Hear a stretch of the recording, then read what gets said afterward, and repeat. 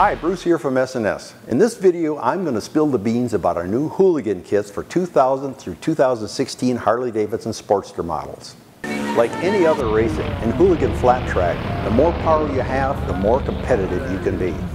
And when it comes to power, bigger is better. So make your engine bigger with an S&S Hooligan kit.